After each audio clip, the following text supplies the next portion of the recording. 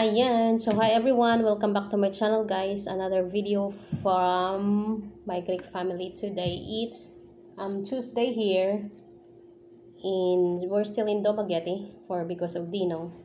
As you watch on my videos previous, we move from Bayo One Town to Dumaguete because of the Dino school. So, we have a new life here new life, new beginnings. So, today, it's Tuesday, kakain na ako ng um, breakfast. So, si Dino, nag-iingay siya kasi what he's doing is, come on over here, baby. I'm gonna show you what's the, the kababalaghan ni Dino. Ayan. Meron siyang ginger. Say, I have ginger. Tapos, he was trying to flying like an airplane. Kaya siya maingay ng zzz, nagaganyan kasi. Ayan. Nag-imagine siya sa airplane. Kasi lumipad nga kami last week uh, to Manila because of his um, biometric appointment sa immigration office. So, hindi pa siya naka-move on. hindi pa siya nakapag-move on, guys. Excited pa rin siya. Kanya, baby. Excited pa rin siya sa kanyang uh, travel. sa kanyang air. Come on, because mama, I'm going to eat. So, here, excited pa rin siya sa kanyang travel. Kaya, nag-imagine pa rin siya sa Eloprano sa airplane. So, uh, nagkape na kami kanina. Tapos, Dino, he eats cereal. Tapos, me, I eat uh, bread. Yung parang, ano, uh, kape lang sa umaga. Pero, hindi mo talaga maano, gutom ka talaga. So, uh, hindi siya nakapasok today because I gave you guys an update on what's going on today. Um, he's not uh, in school today because of yesterday we went to school Monday and then I stopped by uh, in the fast food but before that I stopped by in a market. I think in the market um, supermarket I buy few stuff. Tapos uh, I stopped by for lunch kasi nga maaga kami umalis like 7.30 7.30 And then, uh, yung breakfast ni Dino is yung snacks na. Kasi they have snacks in school like 9.30. Tapos yun na yung breakfast niya. Kasi after wake up, hindi yan siya kumakain. So, yung pinaka-breakfast niya is yung snacks nila sa school. So, we don't have lunch. After we come back, like mga siguro 11.30. So, bumuli ako ng lunch and I stop by na I stop by na fast food. So, meron silang uh, sweet cold pineapple juice na nag-order ako ng dalawa. So, dalawang drinks din siya. So, ang ginawa namin after we come back home, dito sa apartment is, hindi kami kumain agad. Uminom agad si Dino ng pineapple juice, which is very, very uh, cold. Kasi sobrang init nga. So, kahit ako, inuna ko yung drink. So, the same Dino. So, after he drink, that afternoon, ayun, hinubak-hubak na siya ng ubo. Inuubo-ubo na si Dino. Until last night, inuubo siya until this morning. So, what's happening is, uh, meron akong, meron akong uh, nebulizer, yung nebulized na medicine for him. Na usually, yun yung, ano sa buhok ko? Usually, yun yung binibigay ng doktor sa kanya. So, I gave him that kasi yung, yung chest niya is parang sagrak.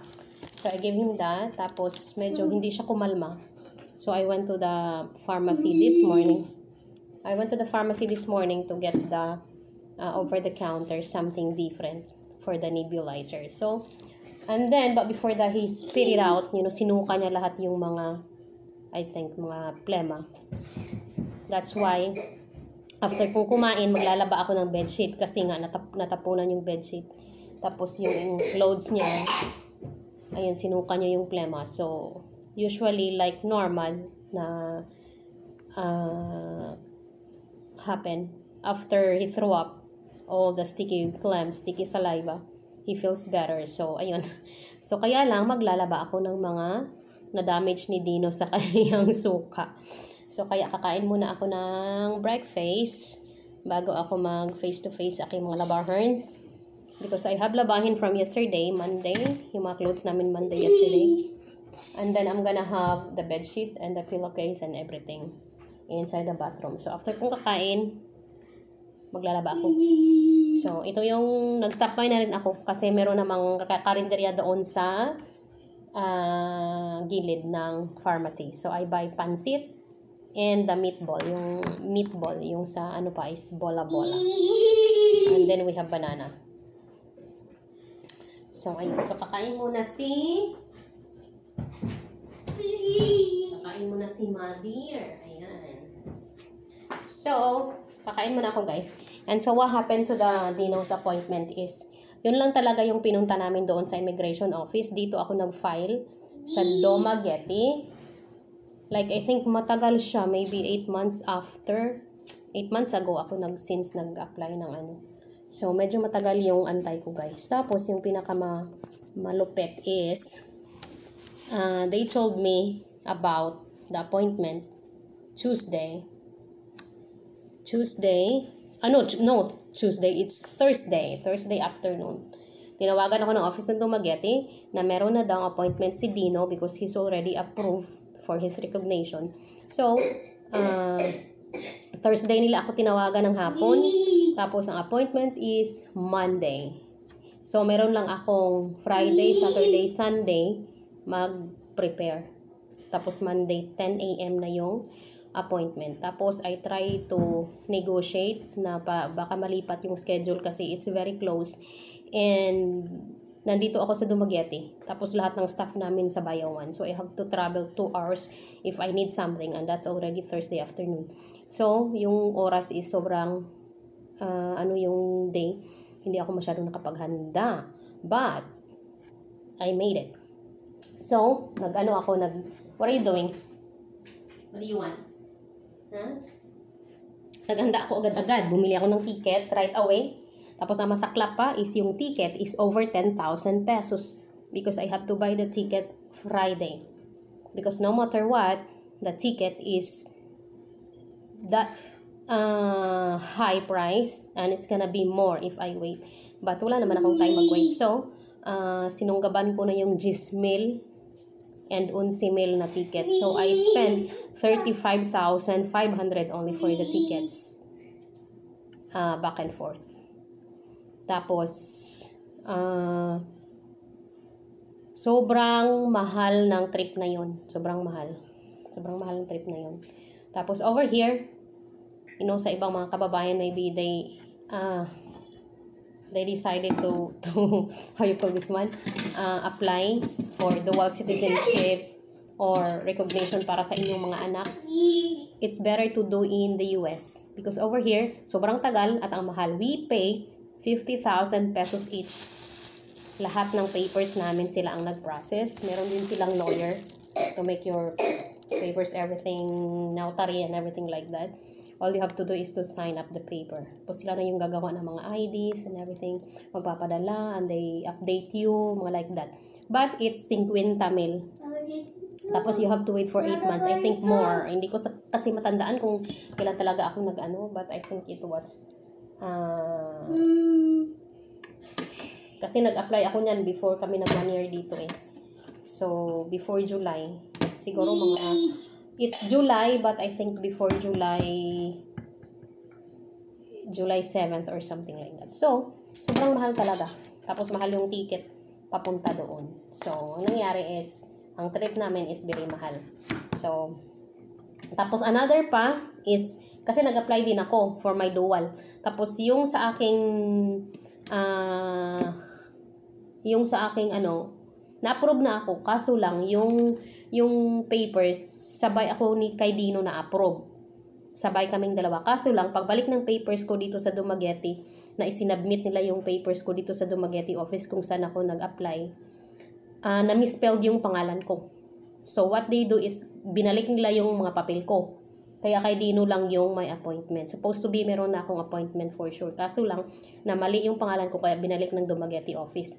So, uh, mag-aantay pa naman ako uli ng aking appointment for outtaking na yon. So, yung outtaking na yon is I have to go to Manila again for that. So, I don't know when.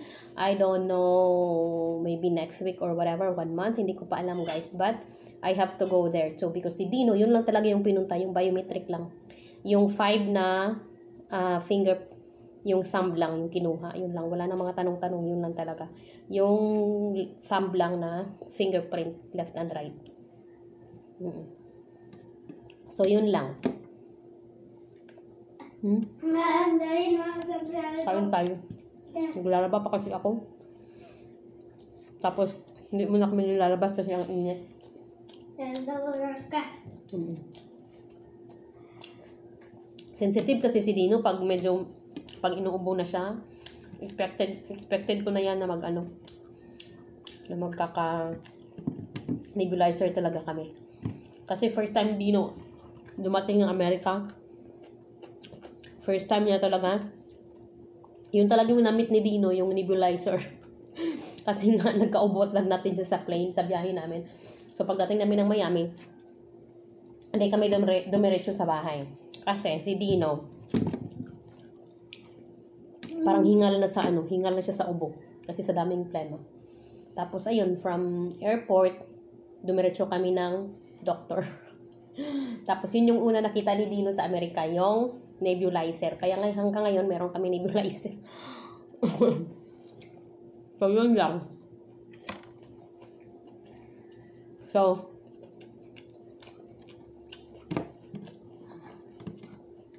sa mga Pilipino, mag gusto mag-apply na uuwi, American citizen tapos uuwi ng Pilipinas na hindi dual. It's better dyan kayo mag-apply sa Amerika. Ang bilis at cheaper pa. Dito, sobrang tagal at mahal pa. Hindi ko na, hindi ko na-expect na mm, spell out that one. Ayan na, susuka na naman niya ulit. Hindi ko na-expect na yung appointment ni Dino, Thursday, they let me know Thursday, tapos Monday na yung appointment. Lur! Agad-agad. tapos sabi ko sa office, Ba't naman, ano ma'am, agad-agad, sabi niya, yung, sabi ng taga-office dito. Yun din yun kasi yung binigay sa amin ma'am, na-shock na din kami na ngayon nila ni, inano, binigay yung schedule ni, ni Dino, tapos Monday na agad-agad. Ba't hindi lang ginawang Friday, ano? Paloke. Kaya ayun, sumugod ako sa Manila ng hindi oras. So, uh, Saturday umalis kami. I buy the ticket Friday. 11 most uh, over 10,000 tapos pabalik namin is 11 ano ang papunta doon is 11 and then pabalik is over 10,000 I think. Sakit sa bangs. Pero okay lang guys. Wala naman akong problema sa pera kasi yung asawa ko is supportive naman siya. Especially yung mga important matters. Kaya sabi niya it's okay so Mm, antayin ko na lang yung certificate ni Dino. Certificate ni Dino. Tapos every time na mag-travel kami in and out the country, yun lang yung bibit-bitin ko. Hmm. Tapos sa akin naman, mag-aantay ako ng appointment ko. Tapos ganun din the same. Para makunan ko na si Dino ng passport. Kasi kinunan ko to siya ng passport when he was 7. Kaso lang, hindi ako binigyan kasi nga, American siya. So, kailangan ko pang mag-apply for recognition and then maanuhan ko siya ng passport. Ayan. Say hi! Mm. So, ayan. So, yun na yung nangyari doon sa trip namin. No? So, tapos yung husband ko is coming by next month. I'll give you an update on that one, guys. So, ayun. Yung tango ni mo. So, please watch my channel. Subscribe, my Greek family in the Philippines. Um, hit that bell button for more videos update para ma-update kayo sa aking mga ka-chervanes dito sa Philippines kung ano mga nangyayari. Tapos, i-schedule ko pala si Dino. I called the, the office yesterday for speech therapy. Kasi yung school ni Dino, walang speech therapy. Regular teacher lang yun siya. So, he need speech therapy every day. Tapos, fully book yung mga, yung schedule nila. But, we're on the list, so I'm waiting for the call. And guess what? Um, meron silang assessment na gagawin for Dino, which is, I, I heard from the other parents, which is 2,500. And then, the speech therapy is uh, 700 per hour. So, susunggaban ko din yun for Dino. Kasi hindi pa talaga siya masyadong talkative. So, he need more help. So, uh, while nag-school siya, um, we have a different appointment schedule for the therapy. But hindi pa yan siya approve, hindi pa yan siya proof, uh, ano, uh, kasi tatawagan lang nila ako kung may bakante na. So, hopefully, meron by next month. Hmm. Yan. Hmm, ayan. so, hindi ako kasabot sa kulit kaon. Uy, sama niya. Hindi kasi ako makapagluto kasi hindi ako hindi ako mamalingki today guys kasi mainit sa labas tapos si Dino magkaka magkaka worst yung ano niya. We're showing off. He was showing off something. Wala kasi akong refrigerator dito kaya hindi ako makabili ng mga ano, mga isda ba. Hindi ako makapag-stock ng something. Bumibili ako isang lutuan lang. Kasi masisira. Ayan, kaya ano yung banana. What's that? Ayan. Hmm, banana. Di. Pag, pag masyado kasi inuubos si Dino, Dino parang parang ganyan. Tapos yung chest niya is parang sagalak. Ayan. Tapos normal lang yun sa kanya. Parang nasanay na ako na ganyan. Pero ayoko lang na pabayaan kasi parang kahapon lang yung ubo niya, hindi naman yan isang linggo na. Mm. Pero parang ano na, parang pinabayaan na yung ubo niya. Kahapon lang yan. How much worse kung one week na. Goodness. So, So, ayan. My Greek family, guys, ha. Ang sabi na ako buhok. Oy, mo naman itong si... Nalibog ko si Imelda Marcos, Imelda Papin. comment na. Comment ko naman sa ako buhok, Bing. Ang Imelda Papin o si Imelda Marcos. Ang sagot niya. O si Imelda Ragyod. ayan, so... Naglalaba pa ako, guys. And then, this coming until Wednesday lang yung klase nila. So, I told my niece to come. Tapos dalhin yung mga cousins ni Dino in, over here in Dumaguete. I gave them, you know, money for pamasahe. Para makapunta sila dito. Kasi, I want to take the kids, my, my nieces and nephew to the playground here. They have a playground in the supermarket na magbabayad ka ng ilang oras. So, I want Dino to play and I want him to have a, somebody to play with. So, parang bakasyon na rin, rin nila ng ilang araw. Kasi nga Holy Week, wala silang pasok. So, sabi ko, para naman matreat ko yung mga bata. Ano? Kasi ano lang, eh, minsan lang naman. Tapos, kahit mag, ano ko, kahit magbayad ako, okay lang. Para naman ma-enjoy nila yung uh, ilang days bakasyon dito sa Dumaguete. Kahit maliit lang yung apartment namin, isang kwarto lang, okay lang, siksikan kami dito. So, they gonna come maybe Thursday or Friday afternoon. Basta sila na bahala, binigyan ko na sila ng pamasahe. Kasi ang bakasyon namin from Wednesday, half day, until Tuesday. so, walang pasok. Kaya, mag, ano kami, magkakalat kami dito sa ano. Hmm. Gusto ko ulit uminom ng kape. Ano ba yan? So, that's all for today, guys. Parang mahaba na yung video ko. No? That's all for today. Yan yung chikahan natin. Please subscribe my channel, My Greek Family po. Nasa Pilipinas na po kami. My husband is coming and I'm gonna have more updates para sa mga marites dyan na wala magawa sa Vohay. Well, nood-nood naman kayo. So, subscribe my channel. Thank you so much for watching. Be safe everyone, my Greek family. Regards to all your family out there. Bye-bye everyone. Thank you for watching. Um,